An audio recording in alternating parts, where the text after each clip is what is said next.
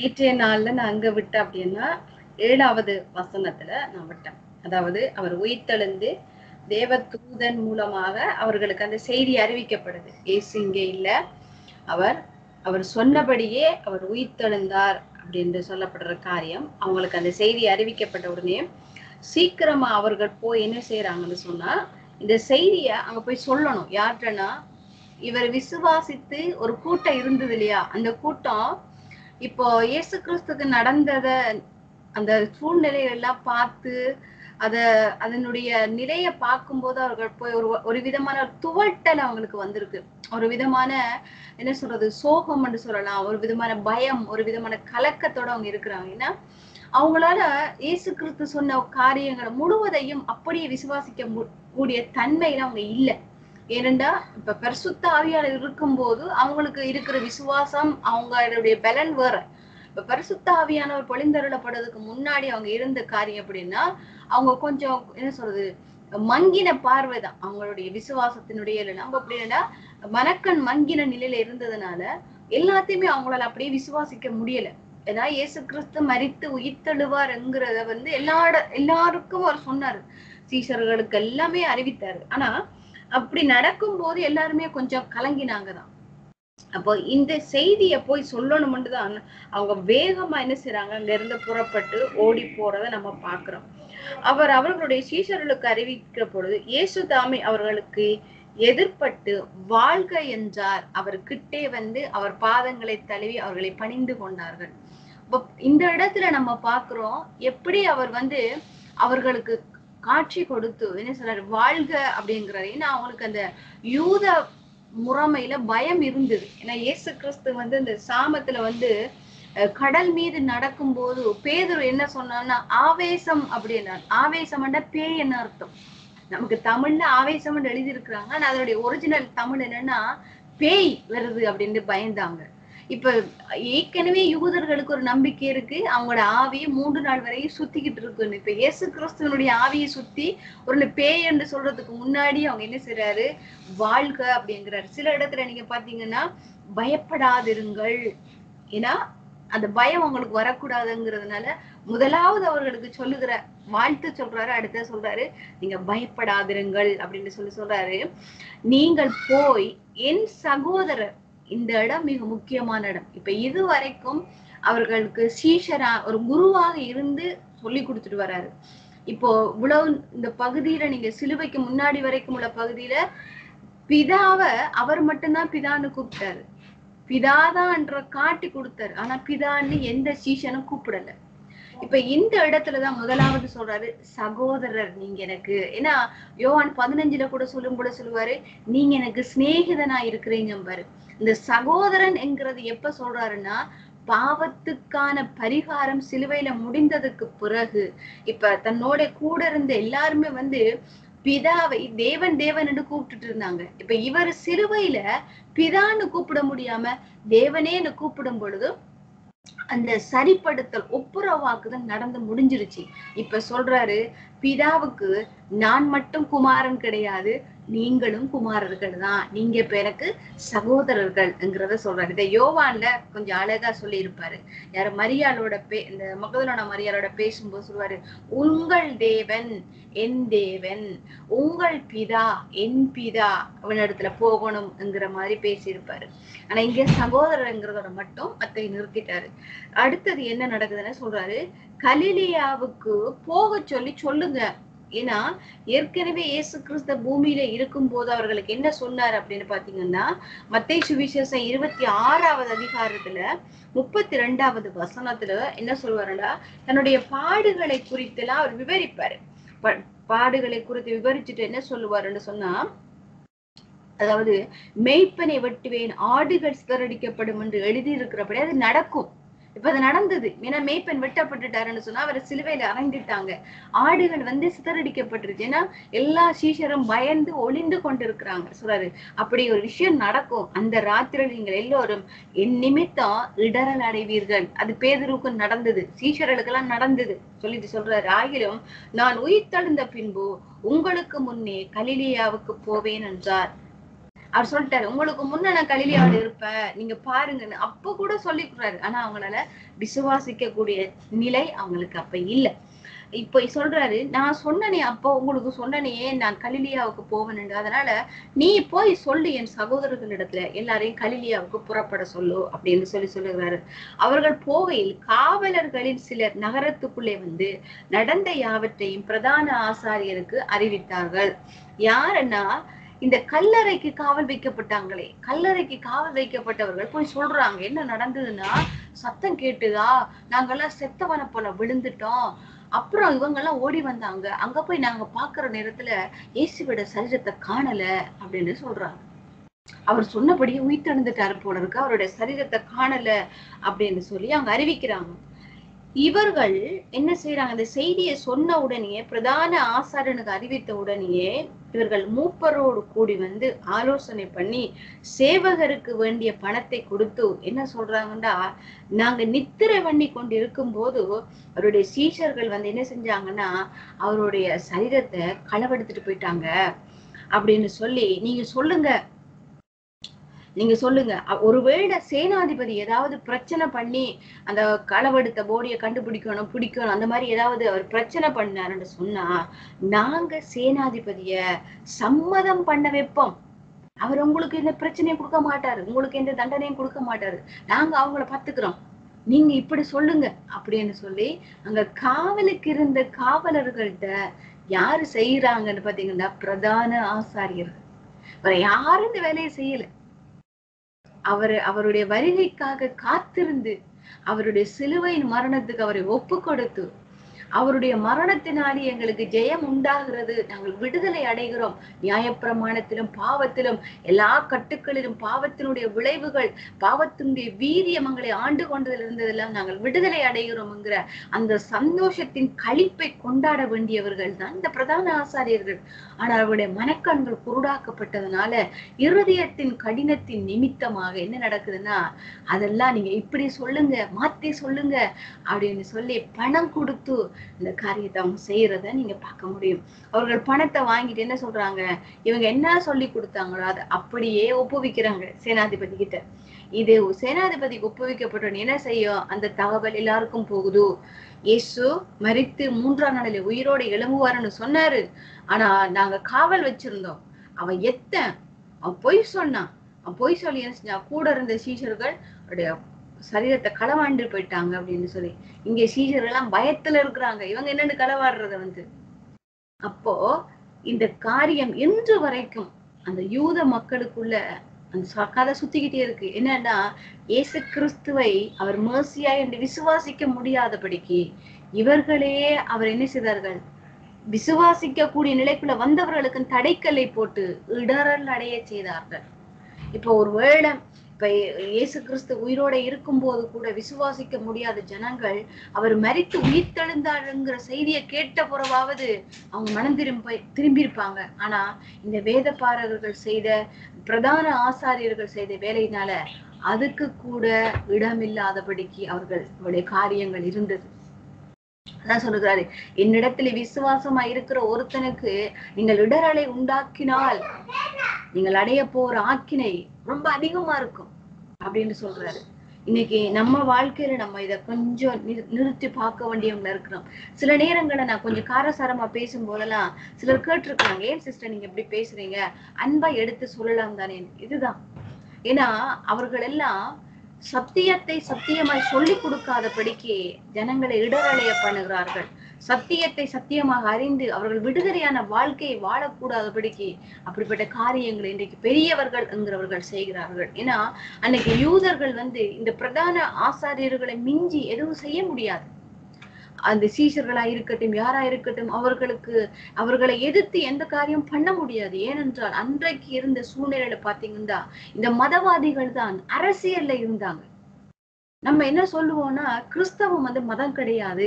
கிறிஸ்தவத்துல அரசியல் கிடையாது ஆனா நீங்க பாத்தீங்கன்னா அங் அன்னைக்கு உள்ள சூழ்நிலை பிரதான ஆசாரியர்கள் அவங்க அரசியல் தான் பண்ணினாங்க. நியாயப்பிரமாணத்தை வச்சுக்கொண்டு மக்களுக்கு கொடுக்க வேண்டியதான தேவனுடைய நீதியை காண்பித்து கொடுக்கவும் இல்ல மக்களுக்கு கொடுக்க வேண்டியத தேவனுடைய இரக்கத்தையும் அவங்க காண்பிக்கவில்லை. மக்களை தேவனிடத்திலே விசுவாசத்துக்குள்ள திருப்ப வேண்டிய காரியங்களை அவங்க செய்யல. தங்களுடைய சுய ஆதாயத்துக்காக அரசியல் தான் அவங்க செஞ்சாங்க. இன்னைக்கும் சபைகள்ல நீங்க பாத்தீங்கன்னா இந்த அரசியல் இருக்குது இன்னைக்கும் பாத்தீங்கன்னா அந்த அரசியல் இருக்கு. பெரியவங்களை மிஞ்சி பேசக்கூடாது. சிலர் சொல்லுவாங்க என்னன்னா இப்ப சில போதகர்களை பாத்தீங்கன்னா அவங்க பெரிய ரொம்ப பாப்புலர் ஆயிட்டாங்க. இப்ப இந்த சினிமா நடிகர்கள் ஸ்டார் மாதிரி இன்னைக்கு ஊழியக்காரர்களும் ஸ்டார் ஆயிட்டாங்க. அப்ப ஸ்டார் ஆயின உடனே என்னன்னா அவங்க பிழைகளை செஞ்சாலும் என்ன சொல்லுவாங்கடா அதுல நீங்க சொல்லாதீங்க. அதை நான் கத்தர் பார்த்துப்பாரு. அப்படி இது என்னன்னு சொன்னா தாங்கள் தப்பித்துக் கொள்வதற்காக சொல்லுறது கத்தர் பார்த்து கொள்வாராம். கத்தருக்கு தெரியாம நீங்க நடக்கையில கத்தர் அவங்க சிந்தையிலேயே அதுக்கு பிளான் போடும் போதே அவர் அறிந்துட்டாரு. அது மட்டும் இல்ல அவர் உலக தோற்றத்துக்கு முன்னாடி அவருக்கு தெரியும். இந்த கூட்டம்லாம் இப்படிலாம் வரும் இடையில இப்படிலாம் செய்யுங்கிறது எல்லாமே அவருக்கு தெரியும். நம்ம சொல்லி ஜெபம் பண்ணி இப்படிலாம் செய்யறாங்க ஆண்டவரேன்னு சொல்லி அவருக்கு தெரியறது இல்ல அவர் எல்லாம் அறிந்தவர். அதனாலதான் அவர் தேவனா இருக்கிறாரு. அப்போ இவங்களை நம்ம சில நேரம் சுட்டி காட்டும் போது அவர்களுடைய ரசிகர்களுக்கு பிடிக்க மாட்டேங்குது. நீங்க ஏன் அதெல்லாம் சொல்றீங்க? உங்களுக்கு என்ன ஊழியம் கொடுத்தாரு? அதை மட்டும் நீங்க செய்யுங்க அப்படின்ட்டு. எங்களுக்கு கொடுத்த ஊழியத்தை நாங்க செய்யறோம். ஆனா வஞ்சிக்கிறவர்களாக இருந்து அதாவது ஆட்டுக்குட்டிகளா இருக்கிறவர்கள் வளர்ந்த ஆடுகளில் ஆட்டுக்குட்டிகளா இருக்கிறவர்களை அவர்கள் என்ன செய்யறாருன்னா வஞ்சனை செய்கிறார்கள். அந்த வஞ்சனை செய்கிறதுனாலதான் சிலர் எதிர்க்கிறார்கள். அதான் விஷயம். சத்தியத்தை அறிந்தவர்கள் கண்டிப்பாக எதிர்ப்பார்கள். ஜோவான் ஞானகன் எதிர்த்தான். பேசினான். தலை வெட்டுப்பட்டு மறித்து போனான். இப்ப எனக்கு தலை வெட்டப்பட்டுருமே என்கிற என்ற பயம் உனக்கு இருந்திருந்தா பேசியிருக்க மாட்டான். அவனுடைய ஒரே நோக்கம் நான் தேவனுடைய நீதியை வெளிப்படுத்த நான் பிறந்தேன். என்னுடைய வேலையை நான் செய்யணும். அதுக்கு தடையா யார் இருந்தாலும் நான் அதை ஏற்றுக்கொள்ள மாட்டேன்.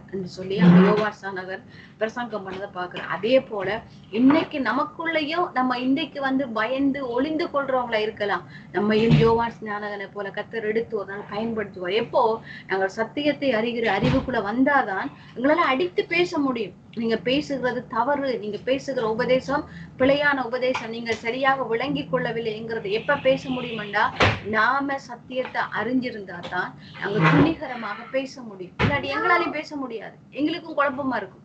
இப்ப நிறைய பேருக்கு அதான். இப்ப என்னண்டா சில விஷயங்களை சுட்டி காட்டும் பொழுது இப்ப கீழே இருக்கிற ஆளுக்கு சத்தியம் தெரியாதனால என்ன செய்வாங்கடா அவங்க என்ன செஞ்சாலும் நீங்க கண்டுக்காதீங்க. நீங்க பேசாம இருங்க. கத்தர் பாத்துக்குவாரு அப்படின்னு சொல்றது காரணம் இவங்களுக்கு சத்தியம் தெரியாது. இவங்களுக்கு சத்தியம் தெரிஞ்சு இவங்க அந்த உணர்வுள்ள ஆவியை பெற்றுட்டாங்கன்னு சொன்னா இவங்களால சும்மா இருக்க முடியும். அதே காரியத்தை தான் நிறைமையா சொல்றான். கத்தருடைய வார்த்தை எனக்கு கொடுக்கப்பட்டுருச்சு. நான் கத்தருடைய வார்த்தையை நான் பேசணும். ஆனா பேசுறதுக்கு நான் பேசினவங்க யாருமே ஏத்துக்க மாட்டுறாங்க இப்ப நான் பெற்றுக்கொண்ட கத்தருடைய வார்த்தை எனக்கு எப்படி இருக்குதுண்டா என்னுடைய எலும்புகளுக்குள்ள அக்கினிய போட்டு அடைக்கும் பொழுது அது எவ்வளவு வலிய கொடுக்குமோ அந்த அளவான வலி எனக்குள்ள இருக்குது. ஏன்னா எனக்கு தெரிஞ்சிருச்சு. ஆனா நான் போய் சொல்லும் பொழுது ஏத்துக்கிறதுக்கு ஆள் இல்லை. சொன்னாலும் கேட்க மாட்டானுங்க சொல்லக்கூடாதுன்னு அடிக்கிறானுங்க. இப்படி இருக்குது என்னோட நிலவரம்னு சொல்லி இறைமையை விவரிக்கிறாரு. இப்ப அதே போலதான் நம் சத்தியத்தை அறிகிற அறிவை அடையும் பொழுதோ எங்களுக்குள்ளே இருக்கிற சத்திய ஆவியான சத்தியத்தை வெளிப்படுத்தும் பொழுது எங்களுக்கு தைரியம் எல்லாம் அவராலே வரும். எங்களுக்கு பலன் அவராலே வரும். இப்ப பாத்தீங்கன்னா பேதுருவ பேதுரு பயந்து ஓடிட்டார். ஏசு கிருஷ்ண மறுதளிச்சுட்டு இப்ப இந்த நேரத்துல அவர் எங்க இருக்கிறாரு தெரியுமா? பூட்டிய வீட்டுக்குள்ள ஒளிஞ்சிட்டு இருக்கிறாங்க இப்ப பூட்டிய வீட்டுக்குள்ள ஒளிஞ்சிட்டு இருக்கிறவருக்கு தான் இப்ப இந்த மரியாதை போய் செய்தி சொல்றாங்க. ஆண்டவர் உயிரோட எழுப்பிட்டாரு அப்படின்ற செய்தி போகுது. அது போனதுக்கு பிறகு பேதரோட நிலைமையை நீங்க பாத்தீங்கன்னு சொன்னா அப்போ சிலர் மூன்றாவது அதிகாரத்துல பேதர் யாரு கூட பேசுறாரு அப்படின்னு சொல்லி நீங்க பாத்தீங்கன்னு வச்சுக்கோங்களேன். இப்ப இங்க பயந்து பயந்து இருந்த பேதரு தான் நீங்க பாத்தீங்கன்னா இந்த வேத பாரகர்களுக்கு முன்பாக இஸ்ரேல் ஜனங்களுக்கு முன்பாக எழும்பி இருந்து அவர் தைரியமாக பேசுவார். அப்படி பேசி சொல்லுவாரு இந்த இயேசுவ நீங்க தான் கொலை செய்தீர்கள் அப்படின்னு சொல்லி அவர் வந்து அவ்வளவு தைரியமா பேசுவார். அதாவது அப்போ சில ரெண்டாவது அதிகாரத்துல நீங்க அதை படிக்கலாம். படிச்சீங்கன்னா அவர் சொல்லுவார் கேளுங்க சொல்ற கதையை கொஞ்சம் கேளுங்க நாங்க இவ்வளவு நாள் தெரியாம நாங்க வந்து அவர் இந்த மாதிரி நடத்திட்டோம். அவர்தான் எங்களை மீட்க வந்த மீட்பர் அப்படின்னு சொல்லி அங்க பகிரங்கமாக எழுந்து நின்று பேதுரு பேசுகிற காரியத்தை நீங்க பார்க்க முடியும். பதினான்காவது வசனத்துல இருந்து அந்த அதிகாரம் முடியும் வரைக்கும் நீங்க அதை வாசிக்கலாம். அதுல சொல்றார் பேதர் பதினோரு பேரோட கூட நின்று அவர்களை நோக்கி உரத்த சத்தமாய் யூதர்களே எருசலேமின் வாசம் பண்ணுகிற ஜனங்களே நீங்கள் எல்லோரும் அறிந்து கொள்வீர்களாக. என் வார்த்தைக்கு செவி கொடுங்கள். எப்ப வருது இந்த தைரியம் பாத்தீங்கன்னா பரிசுத்த ஆவி அவருக்குள்ள வந்ததுக்கு பிறகு சத்தியத்தினுடைய வெளிப்பாடு அவருக்குள்ள வந்ததுக்கு பிறகு வருகிற தைரியம். பேசுறாரு. பேசிட்டு அதுல முக்கியமா நான் சொல்றேன் ஒரு சில வசனங்களை மட்டும் நான் உங்களுக்கு காண்பித்து கொடுக்கிறேன். அவர் சொல்றாரு முப்பத்தி ஓராவது வசனத்துல பாருங்க அவர் கிறிஸ்துவனுடைய ஆத்துமாவை பாதாளத்திலே விடவில்லை என்றும் அவருடைய மாம்சம் அழிவை கண்டதில்லை என்றும் முன்னறிந்து அவர் உயிர்த்தெழுதலை குறித்து இப்படி சொன்னார். இயேசுவை பிதா எழுப்பினாருங்கிறதுக்கு நாங்களே சாட்சி நாங்க சாட்சியா நிக்கிறோம் என்று சொல்லி சொல்லுகிறாரு. இருபத்தி ரெண்டுல பாருங்க. இஸ்ரவேலரே நான் சொல்லும் வார்த்தைகளை கேளுங்கள். நீங்கள் அறிந்திருக்கிறபடி நசைனாகிய இயேசுவை கொண்டு தேவன் உங்களுக்குள்ளே பலத்த செய்கைகளையும் அற்புதங்களையும் அடையாளங்களையும் நடப்பித்து அவைகளினாலே அவரை உங்களுக்கு வெளிப்படுத்தினார். அப்படி இருந்தும் தேவன் நிர்ணயித்திருந்த ஆலோசனையின்படி அவருடைய முன்னறிவிப்பின்படி ஒப்பு கொடுக்கப்பட்ட இந்த இயேசுவை நீங்கள் பிடித்து அக்கிரமக்காரருடைய கைகளிலேயும் சிலுவையிலே ஆணி அடித்து கொலை செய்தீர்கள். தேவனை அவர் அவருடைய மரண உபாதை கட்டுக்களை அவிழ்த்து அவரை எழும்ப பண்ணினார். அவர் மரணத்தினாலே கட்டப்பட கூடாது இருந்தது சொல்லி அவங்களுக்கு முன்னால் அவ்வளவு தைரியமா பேசுறாரு. இப்ப இங்க பாத்தீங்கன்னா பூட்டிய வீட்டுக்குள்ள ஒளிஞ்சிட்டு இருக்கிறார் ஒருவேளை இந்த காலம் நமக்கு வந்து பூட்டிய வீட்டுக்குள்ள ஒளிஞ்சிருக்கிற காலமா இருக்கலாம். எனக்கு அவ்வளவா சத்தியம் தெரியாது. எனக்கு பேசுறதுக்கு தைரியம் கிடையாது என்று சொல்லி நம்ம இருக்கிற காலமா இருக்கலாம். ஆனா எங்களை நாங்க வந்து சரண்டர் பண்ணி அப்பா உங்களோட சித்தம் போல என்ன நடத்துங்கப்பா. இந்த பூமியில என்ன பிறப்பிக்க பண்ணதுக்கு ஒரு நோக்கம் உண்டு அப்படின்னு சொல்லி நாங்க எங்களை சரண்டர் பண்ணும்போது அவர் எங்களை நடத்துவார். அவர் எங்களுக்கு பேச வேண்டியதை உங்களுக்கு போதித்து பேச வைப்பாரு. ஏசு கிறிஸ்து சீசரோட என்ன சொன்னாருன்னா நீங்க ஒரு இடத்துக்கு பேச போகணும் நீங்க ஆயத்தமா போகாதீங்க. நீங்க போங்க. நீங்க போனீங்கன்னா உங்களுக்கு எதிராக இருந்து பேசுகிறவர்கள் உங்கள்ட்ட கேட்கிற கேள்விகளுக்கு நீங்கள் பேச வேண்டிய விதம் என்னதென்று சொல்லி உங்களுக்கு பரிசுத்த ஆவியானவர் அந்த இடத்துல பேச தருவாரு. நீங்கள் பேசுகிற வார்த்தைகளுக்கு அவங்களால எதிர்த்து பேச முடியாது. அந்த ஞானம் அந்த அறிவு அந்த புத்தியை உங்களுக்கு தருவாருன்னு தான் அனுப்புனார். அதே மாதிரி நம்ம எப்ப எங்களை சரண்டர் பண்ணிட்டு நீங்க எனக்கு போதீங்க நீங்க என்ன நடத்துங்க ஒருத்தட்ட ஒரு ஒரு மெசேஜ் கொடுக்குற ஒரு ஆள்கிட்ட பேசுறேன்டா கூட அந்த ஒரு செகண்ட்ல ஆவியானவரே நான் உங்ககிட்ட என்ன ஒப்பு கொடுக்குறேன் நீங்க என்ன பயன்படுத்துங்க. நான் உங்க வாயா இருக்கணும். நீங்க என்ன பேசணும்னு நினைக்கிறீங்களோ அதை மட்டும் தான் நான் பேசணும். மாம்சத்தின்படி நான் எதுவும் கூட குறையெல்லாம் நான் பேசிடக்கூடாது. அப்படின்னு சொல்லி நீங்க ஒரு சின்ன ஒரு ஜெபம் பண்ணிட்டு நீங்க பேசுங்களேன் உங்களை ஆவியானவர் நடத்துறதை நீங்களே உணர்வு உணர்வீங்க நீங்கள் ஆயத்தப்படுத்தி பேசுறதை விட அவர் உங்களை நடத்துகிறது மிக மிக சிறப்பான ஒரு அனுபவம்.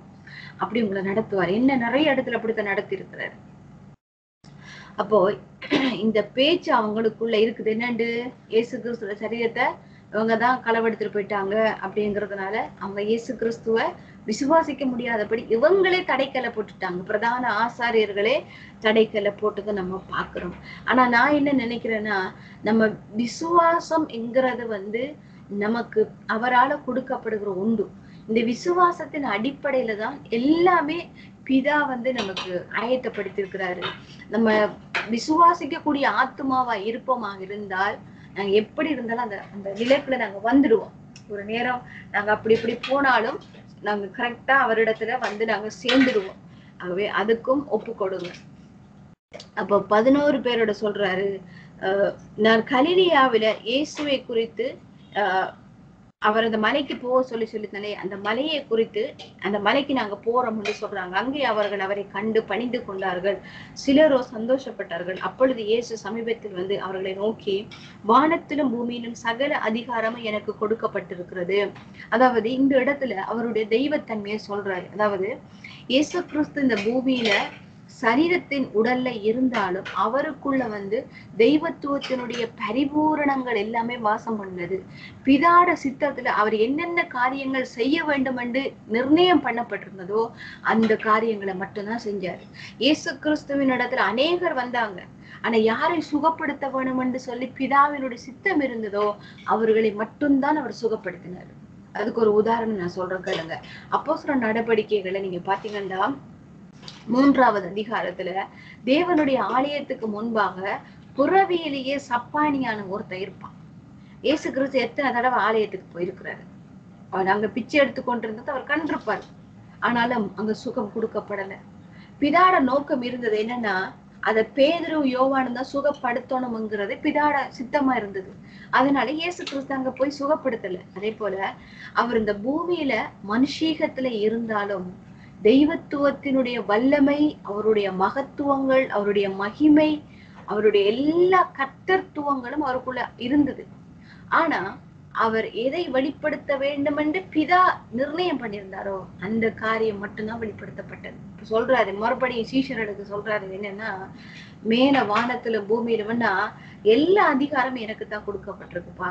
நீங்க முதல் என்னன்னா பிசாசு அதிகாரத்துல இருந்தவனா இருந்தான். இப்ப பிசாசு கிடையாது. இப்ப நான் தான் எனக்கு கீழே தான் பிசாசு. அதுக்கு கீழே தேவ பிள்ளைகளை கொடுத்திருக்கிறார் இப்ப எங்களுக்கு கீழே தான் பிசாசு வச்சிருக்கிறார். ஆனா இதை எங்களால விசுவாசிக்க முடியாது. எப்படி? பாவத்துக்கு முதல் அதாவது இயேசு கிறிஸ்து இந்த சிலுவையில அறையப்படுறதுக்கு முன்னாடி அங்க ஆதாமுக்கு கொடுத்ததா ஆதாம் இழந்துட்டான். ஆதாம் இழந்த பிறகு ஆதாம் அந்த பிசாசனா ஆளு ஆளுகை செய்யப்பட்டிருந்தான். இப்ப சிலுவைக்கு பிறகு சொல்றாரு எல்லா அதிகாரங்களும் எனக்கு கீழே இருக்குங்கிறார். இப்ப நம்ம சில நேரங்களை பாத்தீங்கடா ஆண்டவரை விட பெரிய ஆளு மாதிரி பிசாசு பேசுவாங்க பாத்தீங்களா பிசாசு அப்படி செய்வான் இப்படி செய்வான் அப்படி இப்படின்னு பிசாச குறிச்சு நிறைய பில்டப் பண்ணுவான். அவனை பத்தி தெரியாத தந்திரம் உள்ளவன் அங்க உள்ளவன் ஒண்ணும் கிடையாது. அவன் இப்ப தேவனுடைய பிள்ளைகளுடைய பாதத்துக்கு கீழே தான் பிசாசு இருக்கிறான். அது நமக்கு தெரியாது. ஏனண்டா எபேசியருக்கு எழுதின நிருபம்.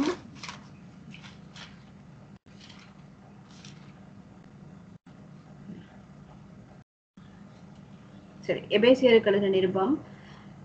இருபதாவது வசனத்திலிருந்து பாத்தீங்கன்னா எபேசியர் முதலாவது அதிகாரம் இருபதாவது வசனத்திலிருந்து சொல்றாரு எல்லா துறைத்தனங்களும் அதிகாரங்களும் வல்லமைகளும் கத்தத்துவமும் இன்மையில் மாத்திரமல்ல மறுமையிலும் பேர் பெற்றிருக்கும் எல்லா நாமத்துக்கு மேலாக அவரை உயர்த்தத்தக்கதாக அவரை உன்னதங்களில் தம்முடைய வலது பார்சத்தில் உட்காரும்படி செய்து எல்லாவற்றையும் இருபத்தி மூ இருபத்தி ரெண்டாவது வசனம் பாருங்க. ஏசு கிறிஸ்துவ பிதா எந்த ஸ்தானத்துல வைத்தாரு? அவர் உயிர்த்தெழுந்ததுக்கு பிறகு அவர் என்ன நிலையில இருக்கிறாருங்கிறத சொல்றாரு. சொல்ல சொல்றாரு. எல்லா அதிகாரங்கள் எல்லாமே அவருக்கு கீழே தான் இருக்குன்னு சொல்லிட்டு சொல்றாரு.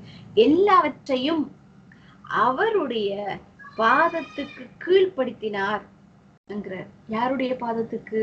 இயேசு கிறிஸ்துவினுடைய பாதத்துக்கு கீழ்ப்படுத்தினார்னு சொல்றாரு.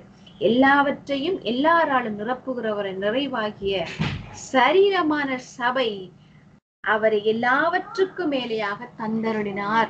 அடுத்து சொல்றாரு எல்லா அதிகாரம் எல்லாத்தையும் அவருடைய பாதத்துக்கு கீழ்படுத்திட்டாரா அடுத்து சொல்லுகிறாரு அவருடைய சரீரமாகிய சபைக்கும் அவரை தலையாக ஏற்படுத்தினாரா பிதா இப்போ இயேசு கிறிஸ்து தலையா இருக்கிறாரு நம்ம யாரா இருக்கிறோம்னா இயேசு கிறிஸ்துவனுடைய சரீரத்துல நாங்கள் அவயவங்களா இருக்கிறோம். இப்ப அவருடைய பாதத்துக்கு கீழ்படுத்திட்டாருன்னு சொன்னா எங்களுக்கும் கீழே தான் பிசாச வச்சிருக்கிறார். ஆனா இது இந்த சத்தியம் எல்லாம் சொல்லி கொடுக்க மாட்டாங்க. நமக்கு என்ன சொல்லுவாங்கன்னா பிசாசு பெரியவங்க நம்ம ஜெபம் பண்ணி தான் அவனை ஓட்டணும் நம்ம ஜெபம் பண்ணி தான் அவனை கட்டணும்னு தான் சொல்லி கொடுப்பாங்க. இங்கதான் எனக்கு அவங்களுக்கு முரண்பாடு வருது. வேற ஒன்றும் இல்லை. ஏன்னா அங்க சத்தியத்தை அவங்க மறைக்கிறாங்க. சத்தியத்தை அவங்க மறைச்சு பேசும்போது நாங்க எதிர்க்கிறோம். அதனால எங்களை அவங்களுக்கு பிடிக்க மாட்டேங்குது. அப்ப இயேசு கிறிஸ்து சிலுவையில செய்ததான அந்த மகத்தான காரியத்தை குறித்து நாங்கள் அறியும் பொழுதுதான் தெரியுது நான் யாரா இருக்கிறேன் முன்னாடி ஒரு காலத்துல நாங்க பயந்து பயந்துதான் இருந்தோம். இப்போ இல்ல. பிசாசு எங்க காலுக்கு கீழே தான் வச்சிருக்கிறார். எங்களுக்கு கீழே தான் வச்சிருக்கிறார். அவன் அவன் எங்களை ஆளுகை செய்ய முடியாது. அவன் எங்களை ஆட்டி படைக்க முடியாது. அவன் எங்களை வந்து ஒண்ணும் செய்ய முடியாது. எப்போ அவன் எங்களை செய்ய முடியுமெண்டா நாங்கள் அவனுடைய சத்தத்தை கேட்டு இருக்கும்போது எங்களோட நிலை மாறும். இப்போ அதுக்கு ஒரு உதாரணம் சொல்றேன் கேளுங்களேன். ஏதேன் தோட்டத்துல அங்க அவங்க பாவத்துல விழுறதுக்கு முன்னாடி உள்ள நிலையில பாத்தீங்கன்னா அங்க ஏதேன் தோட்டத்துல ஆண்டவருடைய சத்தமும் இருந்தது பிசாசுனுடைய சத்தமும் இருந்தது.